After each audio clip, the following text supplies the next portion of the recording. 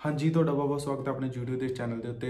ਅੱਜ ਦੀ ਆਪਾਂ ਵੀਡੀਓ ਵਿੱਚ ਗੱਲ ਕਰਨੀ ਆ ਲਾਸਟ ਵੀਕ ਦੇ ਵਿੱਚੋਂ ਇਮੀਗ੍ਰੇਸ਼ਨ ਜੋ ਬਦਲਾਅ ਹੋਏ ਤੇ ਨੈਕਸਟ ਵੀਕ ਦੇ ਵਿੱਚ ਕੀ ਐਕਸਪੈਕਟ ਕਰ ਸਕਦੇ ਆਪਾਂ ਇਮੀਗ੍ਰੇਸ਼ਨ ਦੇ ਤੋਂ ਜੋ ਕਿ ਨਵੇਂ ਕੁਆਰੰਟਾਈਨ ਰੂਲ ਆਏ ਨੇ, ਉਸ ਤੋਂ ਬਾਅਦ ਆਪਾਂ ਨੂੰ ਕੀ ਦੇਖਣ ਨੂੰ ਮਿਲ ਸਕਦਾ ਹੈਗਾ, ਜੋ ਕਿ ਰਿਜ਼ਲਟ ਨੇ ਉਹ ਫਾਸਟ ਹੋ ਸਕਦੇ ਨੇ ਕਿਊਐਕ ਸਟੂਡੈਂਟਸ ਦੇ ਰਿਜ਼ਲਟ ਨੇ ਜੋ ਫਾਸਟ ਹੋ ਸਕਦੇ ਨੇ ਓਪਨ ਪਰਫਾਰਮੈਂਸ ਦੇ ਰਿਜ਼ਲਟ ਕਦੋਂ ਤੱਕ ਆਉਣਗੇ। ਆਪਾਂ ਇਸ ਵੀਡੀਓ ਵਿੱਚ ਸਾਰੀ ਗੱਲ ਕਰਾਂਗੇ ਤੇ ਵਿਦ ਫੈਕਟਸ ਨੂੰ ਦੱਸਾਂਗੇ, ਜਿਸ ਤੋਂ ਬਾਅਦ ਤੁਸੀਂ ਆਪ ਵੀ ਅੰਦਾਜ਼ਾ ਲਾ ਸਕਦੇ ਹੋ ਕਿ ਰਿਜ਼ਲਟ ਨੇ ਸਾਡੇ ਕਦੋਂ ਤੱਕ ਆ ਸਕਦੇ ਨੇ, ਆਪਾਂ ਇਸ ਵੀਡੀਓ ਵਿੱਚ ਉਸ ਬਾਰੇ ਹੀ ਗੱਲ ਕਰਨੀ ਰਹੀ ਹਾਂ ਵੀਡੀਓ ਨੂੰ ਸ਼ੁਰੂ ਤੋਂ ਲੈ ਕੇ ਐਂਡ ਤੱਕ ਜਰੂਰ ਦੇਖਿਓ। ਤੁਹਾਡੇ ਲਈ ਜਰੂਰ ਇੱਕ ਇਨਫੋਰਮੇਟਿਵ ਵੀਡੀਓ ਹੋਊਗੀ।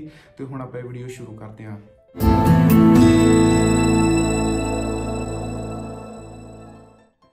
ਜਿਵੇਂ ਕਿ ਤੁਹਾਨੂੰ ਪਤਾ ਕੈਨੇਡਾ ਨੇ ਜੋ ਟਰੈਵਲ ਬੈਨ ਆ, ਉਹਨੂੰ ਐਕਸਟੈਂਡ ਕਰ ਦਿੱਤਾ। 2 ਮਹੀਨੇ ਜੋ ਨਾਨ ਐਸੈਂਸ਼ੀਅਲ ਹੋਣਗੇ, ਉਹਨਾਂ ਨੂੰ ਆਥੋਰਾਈਜੇਸ਼ਨ ਲੈਣ ਦੀ ਜੋ ਜ਼ਰੂਰਤ ਪਊਗੀ।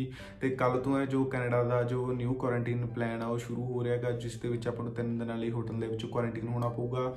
ਤੇ ਸਭ ਤੋਂ ਪਹਿਲਾਂ ਮੈਂ ਤੁਹਾਨੂੰ ਦੱਸ ਦਿਆਂ ਬਹੁਤ ਜਣਾਂ ਦੇ ਕੁਐਸਚਨ ਨੇ ਕਿ ਕਿ ਸਰ 2000 ਡਾਲਰ ਹੀ ਸਾਡੇ ਜੋ ਲੱਗਣਗੇ, ਜੋ ਹੋਟਲ ਦਾ ਜੋ ਖਰਚਾ ਆਊਗਾ 2000 ਡਾਲਰ ਹੀ ਆਊਗਾ। ਥੋੜਾ ਜਿਹਾ ਪਤਾ ਲੱਗਿਆ ਹੈ ਕਿ ਕੁਝ ਜੋ ਹੋਟਲਸ ਨੇ, ਉਹਨਾਂ ਨੇ ਦੱਸਿਆ ਹੈ ਕਿ ਜੋ ਖਰਚਾ ਹੈਗਾ, ਉਹ 2000 ਡਾਲਰ ਤੋਂ ਘੱਟ ਆ ਸਕਦਾ। ਹੈ 1000 1200 ਡਾਲਰ ਤੱਕ ਜੋ ਖਰਚਾ ਉਹ ਵੀ ਆ ਸਕਦਾਗਾ, ਉਹ ਜੋ ਕਿ ਪਤਾ ਲੱਗ ਰਿਹਾ ਹੈਗਾ ਬਾਕੀ ਜਦੋਂ ਕੋਈ ਜਾਊਗਾ, ਕੱਲ ਤੋਂ ਜਦੋਂ ਕੋਈ ਬੰਦਾ ਟਰੈਵਲ ਕਰੂਗਾ, ਉਸ ਤੋਂ ਆਪਾਂ ਨੂੰ ਜ਼ਿਆਦਾ ਐਕਸਪੈਕਟ ਕਰ ਸਕਦੇ ਆ ਕਿ ਉਸ ਨੂੰ ਜ਼ਿਆਦਾ ਨੌਲੇਜ ਹੋਊਗੀ। ਤੇ ਨੈਕਸਟ ਜੋ ਗੱਲ ਕਰਨੀ ਆਪਾਂ ਨੇ ਉਹ ਹੈਗੀ ਹੈ ਪੀਪੀਆਰਸ ਕਿਊਬੈਕ ਸਟੂਡੈਂਟਸ ਦੀ ਪੀਪੀਆਰਸ ਉਹ ਕਦੋਂ ਤੱਕ ਆ ਸਕਦੀਆਂ ਨੇ? ਜਿਵੇਂ ਕਿ ਤੁਹਾਨੂੰ ਪਤਾ ਲਾਸਟ ਵੀਕ ਦੇ ਵਿੱਚ ਕੁਝ ਪੀਪੀਆਰਸ ਆਈਆਂ ਨੇਗੀਆਂ ਜੋ ਕਿਊਬੈਕ ਸਟੂਡੈਂਟਸ ਦੀਆਂ ਸੀਡੀ ਕਾਲਜ ਤੇ ਕੈਨੇਡਾ ਕਾਲਜ ਦੀਆਂ ਕੁਝ ਪੀਪੀਆਰਸ ਨੇ ਜੋ ਪਿੱਛੇ ਆਈਆਂ ਸੀ ਬਹੁਤ ਜਣੇ ਬਹੁਤ ਸਟੂਡੈਂਟਸ ਸੀ, ਜੋ ਉਹ ਘਬਰਾਏ ਹੋਏ ਸੀ ਕਿ ਸਰ ਇਹ ਕਾਲਜ ਦੀ ਪੀਪੀਆਰਸ ਨਹੀਂ ਆ ਰਹੀਆਂ ਹੈਗੀਆਂ ਤਾਂ ਕੀ ਇਹਦਾ ਰੀਜ਼ਨ ਹੋ ਸਕਦਾਗਾ? ਤੇ ਸਭ ਤੋਂ ਪਹਿਲਾਂ ਹੁਣ ਤੁਹਾਨੂੰ ਮੈਂ ਕਲੀਅਰ ਕਰ ਦੇਵਾਂ, ਹੁਣ 22 ਫੈਬ ਤੋਂ ਬਾਅਦ ਜੋ ਰਿਜ਼ਲਟ ਨੇ ਉਹ ਡੈਫੀਨਿਟਲੀ ਫਾਸਟ ਹੋ ਸਕਦੇ ਨੇ, ਉਹਦਾ ਇੱਕ ਰੀਜ਼ਨ ਇਹ ਹੈਗਾ ਕਿਉਂਕਿ ਜਦੋਂ ਕਿ ਆਪਾਂ ਨੇ ਕੈਨੇਡਾ ਦੇ ਵਿੱਚ ਟਰੈਵਲ ਕਰਨਾ ਕਰਨਾਗਾ ਤਾਂ ਆਪਾਂ ਨੂੰ ਹੋਟਲ ਦੀ ਬੁਕਿੰਗ ਹੋਣੀ ਜ਼ਰੂਰੀ ਹੈ। ਫਿਰ ਹੀ ਆਪਾਂ ਜੋ ਫਲਾਈਟ ਦੀ ਟਿਕਟ ਆ ਉਹ ਬੁੱਕ ਕਰਨੀ ਹੈਗੀ। ਇਹ ਮੈਂ ਇਸ ਲਈ ਕਹਿ ਰਿਹਾ ਕਿਉਂਕਿ ਜਦੋਂ ਹੋਟਲ ਸਾਰੇ ਬੁੱਕ ਹੋਣਗੇ, ਉੱਥੇ ਆਪਾਂ ਨੂੰ ਕੋਈ ਰੂਮ ਨਹੀਂ ਮਿਲਿਆ ਤਾਂ ਆਪਾਂ ਜੋ ਟਰੈਵਲ ਕੈਨੇਡਾ ਦੇ ਵਿੱਚ ਨਹੀਂ ਕਰ ਪਾਵਾਂਗੇ। ਜਿਸ ਦੇ ਨਾਲ ਕੈਨੇਡਾ ਨੂੰ ਵੀ ਇੱਕ ਰਿਲੀਫ ਮਿਲੂਗੀ ਜੋ ਹੌਲੀ ਹੌਲੀ ਨੇ ਜੋ ਟਰੈਵਲਰ ਨੇ ਉਹ ਉੱਥੇ ਜਾਣਗੇ, ਜਿਸ ਦੇ ਨਾਲ ਉਹਨਾਂ ਦਾ ਲੋਡ ਘਟੂਗਾ ਤੇ ਜਦੋਂ ਹੀ ਹੋਟਲ ਖਾਲੀ ਹੋਇਆ ਕਰਨਗੇ, ਉਸ ਤੋਂ ਬਾਅਦ ਆਪਾਂ ਨੂੰ ਜੋ ਬੁਕਿੰਗ ਆ ਉਹ ਮਿਲਿਆ ਕਰੂਗੀ। ਤਿੰਨ ਦਿਨਾਂ ਲਈ ਆਪਾਂ ਨੂੰ ਉੱਥੇ ਵੇਟ ਕਰਨਾ ਪਿਆ ਕਰੂਗਾ। ਤੇ ਉਹਨਾਂ ਨੇ ਇੱਕ ਗੱਲ ਹੋਰ ਵੀ ਕਲੀਅਰ ਕੀਤੀ ਹੈ ਜੇਕਰ ਆਪਣਾ ਰਿਜ਼ਲਟ ਤਿੰਨ ਦਿਨਾਂ ਤੋਂ ਪਹਿਲਾਂ ਆਉਂਦਾਗਾ ਤਾਂ ਆਪਾਂ ਜੋ ਉੱਥੋਂ ਆਪਣੀ ਕੁਆਰੰਟਾਈਨ ਨੈਕਸਟ ਪਲੇਸ ਤੇ ਵੀ ਆਪਾਂ ਜਾ ਸਕਦੇ ਹਾਂਗੇ, ਉਹਦੀ ਕੋਈ ਪ੍ਰੋਬਲਮ ਨਹੀਂ ਆਉਣੀ ਹੈਗੀ। ਇਸ ਲਈ ਐਕਸਪੈਕਟ ਕਰ ਸਕਦੇ ਹਾਂ ਕਿ ਕਿ ਜੋ ਮਾਰਚ ਦੇ ਵਿੱਚ ਨੇ, ਉਹ ਸਾਰੇ ਰਿਜ਼ਲਟ ਨੇ ਜੋ ਉਹ ਆ ਜਾਣੇ ਨੇਗੇ। ਕਿਉਂਕਿ ਅੱਗੇ ਸਤੰਬਰ ਇਨਟੇਕ ਵੀ ਆਉਣ ਵਾਲਾ ਹੈਗਾ ਸਤੰਬਰ ਇਨਟੇਕ ਦੇ ਵਿੱਚ ਬਹੁਤ ਜ਼ਿਆਦਾ ਸਟੂਡੈਂਟਸ ਨੇ ਜੋ ਕੈਨੇਡਾ ਲਈ ਫਾਈਲਸ ਲਾਂਚ ਕਰਦੇ ਨੇਗੇ। ਇਸ ਲਈ ਮੈਂ ਇਹੀ ਐਕਸਪੈਕਟ ਕਰ ਸਕਦਾ ਕਿ ਮਾਰਚ ਦੇ ਵਿੱਚ ਨੇ ਜੋ ਰਿਜ਼ਲਟ ਲਗਭਗ ਆ ਜਾਣਗੇ। ਕਿਉਂਕਿ ਐਮਬੈਸੀ ਨੇ ਆਪਣਾ ਲੋਡ ਘਟਾਉਣਾਗਾ ਕਿਉਂਕਿ ਅੱਗੇ ਫਿਰ ਸਤੰਬਰ ਇਨਟੇਕ ਵਾਸਤੇ ਜੋ ਫਾਈਲਾਂ ਲੱਗੀਆਂ ਨੇ, ਜੋ ਹੁਣੀ ਸ਼ੁਰੂ ਹੋ ਜਾਣੀਆਂ ਨੇਗੀਆਂ।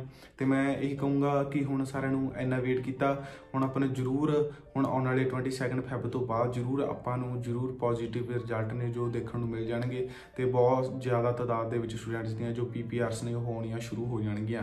ਕਿਸੇ ਨੇ ਵੀ ਘਬਰਾਉਣਾ ਨਹੀਂ ਹੈਗਾ ਤੇ ਹੁਣ ਜੋ ਰਿਜ਼ਲਟ ਨੇ ਉਹ ਡੈਫੀਨੇਟਲੀ ਆਪਾਂ ਨੂੰ ਦੇਖਣ ਨੂੰ ਮਿਲਣਗੇ ਮਾਰਚ ਮੰਥ ਦੇ ਵਿੱਚ। ਤੇ ਨੈਕਸਟ ਜੋ ਆਪਾਂ ਗੱਲ ਕਰਦੇ ਹਾਂ ਕਿ ਓਪਨ ਪਾਪਾ ਪਾਪਾਉਂਟਨ ਦੇ ਰਿਜ਼ਲਟ ਕਦੋਂ ਤੱਕ ਆ ਜਾਣਗੇ, ਉਹਨਾਂ ਦਾ ਵੀ ਮੈਂ ਇਹੀ ਕਹੂੰਗਾ, ਹੁਣ 22 ਫੈਬ ਤੋਂ ਬਾਅਦ ਨੇ ਜੋ ਕੁਆਰੰਟਾਈਨ ਰੂਲ ਨੇ ਉਹ ਚੇਂਜ ਹੋ ਰਹੇ ਨੇ, ਜਿਸ ਤੋਂ ਬਾਅਦ ਹੋ ਸਕਦਾ ਕਿ ਓਪਨ ਪਾਪਾ ਪਾਪਾਉਂਟਨ ਦੇ ਰਿਜ਼ਲਟ ਨੇ ਉਹ ਵੀ ਫਾਸਟ ਹੋ ਜਾਣ, ਕਿਉਂਕਿ ਪਿਛਲੇ ਵੀਕ ਦੇ ਵਿੱਚ ਬਹੁਤ ਜ਼ਿਆਦਾ ਗਿਣਤੀ ਦੇ ਵਿੱਚ ਹੈ ਜੋ ਜਿਵੇਂ ਕਿ ਪਹਿਲਾਂ ਇੱਕ ਦਾ ਰਿਜ਼ਲਟ ਆ ਰਿਹਾ ਸੀਗਾ, ਹੁਣ 10-15 ਰਿਜ਼ਲਟ ਨੇ ਉਹ ਦੇਖਣ ਨੂੰ ਮਿਲੇ ਨੇਗੇ ਲਾਸਟ ਵੀਕ ਦੇ ਵਿੱਚ, ਤੇ ਇਸ ਤੋਂ ਇਹ ਅੰਦਾਜ਼ਾ ਲਾਇਆ ਜਾ ਸਕਦਾ ਕਿ ਆਉਣ ਵਾਲੇ ਟਾਈਮ ਦੇ ਵਿੱਚ ਨੇ ਜੋ ਰਿਜ਼ਲਟ ਡੈਫੀਨੇਟਲੀ ਫਾਸਟ ਹੋ ਜਾਣਗੇ, ਤੇ ਮਾਰਚ, ਅਪ੍ਰੈਲ ਦੇ ਵਿੱਚ ਨੇ ਜੋ ਹੋਰ ਰਿਜ਼ਲਟ ਉਹਨਾਂ ਨੇ ਕਲੀਅਰ ਕਰ ਦੇਣੇ ਨੇਗੇ। ਤੇ ਮੈਂ ਤੁਹਾਨੂੰ ਇਹ ਕਹੂੰਗਾ ਕਿ ਆਪਾਂ ਨੇ ਵੀ ਬਹੁਤ ਵੇਟ ਕੀਤਾਗਾ, ਆਪਾਂ ਵੀ ਥੋੜਾ ਟਾਈਮ ਵੇਟ ਹੋਰ ਕਰ ਲਈਏ ਤੇ ਹੁਣ 22 ਫੈਬ ਜ਼ਰੂਰ ਸਟੂਡੈਂਟਸ ਲਈ ਵੀ ਤੇ ਓਪਨ ਪਾਪਾਂਟਾਂ ਲਈ ਦੋਨਾਂ ਲਈ ਹੀ ਪੋਜ਼ਿਟਿਵ ਹੋਣੀ ਹੈਗੀ।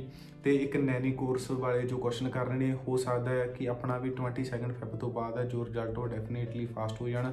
ਤੇ ਆਪਾਂ ਨੂੰ ਵੀ ਜੋ ਮਿਲ ਜਾਣ ਬਟ ਮੈਨੂੰ ਉਹਨਾਂ ਦਾ ਇਹ ਲੱਗ ਰਿਹਾ ਕਿਉਂਕਿ ਉੱਥੇ ਆਪਾਂ ਕੇਅਰ ਕਰਨ ਲਈ ਜਾਂਦੇ ਆ ਬੱਚਿਆਂ ਦੀ ਤੇ ਬਜ਼ੁਰਗਾਂ ਦੀ, ਇਸ ਲਈ ਮੈਂ ਕਹਿ ਸਕਦਾ ਕੋਵਿਡ ਕਰਕੇ ਥੋੜੇ ਉਹਨਾਂ ਦੇ ਰਿਜ਼ਲਟ ਨੇ ਜੋ ਸਲੋ ਹੋ ਜਾਣ, ਜੋ ਫਾਈਲਸ ਨੰਬਰ ਨਹੀਂ ਮਿਲੇ ਹੈਗੇ, ਉਹ ਹੋ ਸਕਦਾ ਵੀ ਆਪਾਂ ਨੂੰ ਆਉਣ ਵਾਲੇ ਦਿਨਾਂ ਦੇ ਵਿੱਚ ਫਾਈਲਸ ਨੰਬਰ ਵੀ ਆਪਾਂ ਨੂੰ ਉਹਨਾਂ ਦੇ ਦੇਖਣ ਨੂੰ ਮਿਲ ਜਾਣ। ਮੈਂ ਤੁਹਾਨੂੰ ਇਹ ਕਹੂੰਗਾ ਵੀ ਥੋੜਾ ਆਪਣੇ ਪੇਸ਼ੈਂਸ ਰੱਖੋ ਤੇ ਹੁਣ ਆਪਾਂ ਨੂੰ ਜ਼ਰੂਰ ਆਪਣੇ ਥੋੜੇ ਟਾਈਮ ਦੇ ਵਿੱਚ ਆਪਣੇ ਜੋ ਰਿਜ਼ਲਟ ਨੇ ਆਪਾਂ ਨੂੰ ਦੇਖਣ ਨੂੰ ਜ਼ਰੂਰ ਮਿਲ ਜਾਣਗੇ। ਜੀ ਕੁਐਸਚਨ ਹੋਰ ਆਉਂਦਾ ਹੈ ਕਿ ਸਰ ਐਲਐਮਆਈਏ ਤੇ ਵੀਡੀਓ ਬਣਾਓ ਹਿੰਦੀ ਦੇ ਵਿੱਚ। ਹਾਂਜੀ, ਆਪਾਂ ਇੱਕ ਅੱਧੇ ਦਿਨ ਤੱਕ ਜੋ ਹਿੰਦੀ ਦੇ ਵਿੱਚ ਜੋ ਐਲਐਮਆਈਏ ਤੇ ਵੀਡੀਓ ਲੈ ਕੇ ਆਵਾਂਗੇ। ਹਿੰਦੀ ਮੇਰੀ ਏਡੀ ਵਧੀਆ ਤਾਂ ਰਹੇਗੀ ਪਰ ਮੈਂ ਕੋਸ਼ਿਸ਼ ਕਰੂੰਗਾ ਤੁਹਾਡੇ ਲਈ ਐਲਐਮਆਈ ਤੇ ਵੀਡੀਓ ਬਣਾ ਕੇ ਲੈ ਕੇ ਆਵਾਂ। ਐਲਐਮਆਈਏ ਦੇ ਵੀ ਰਿਜ਼ਲਟ ਨੇ ਜੋ ਉਹ ਆ ਰਹੇ ਨੇਗੇ, ਵਿੱਚ ਤੁਸੀਂ ਦੇਖੇ ਨੇ ਸਾਡੇ ਗਰੁੱਪ ਦੇ ਵਿੱਚ ਇੱਕ ਰਿਜ਼ਲਟ ਆਇਆ ਸੀਗਾ ਤੇ ਹੁਣ ਜੋ ਉਹ ਰਿਜ਼ਲਟ ਨੇ ਉਹ ਡੈਫੀਨਿਟਲੀ ਆਉਣੇ ਜੋ ਫਾਸਟ ਹੋ ਜਾਣਗੇ।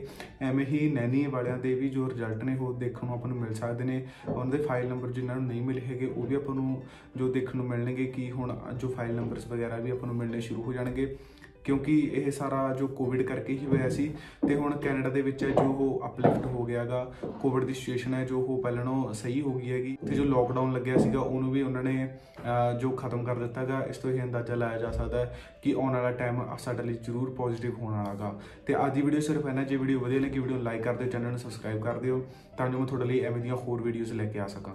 ਓਕੇ ਜੀ ਥੈਂਕ ਯੂ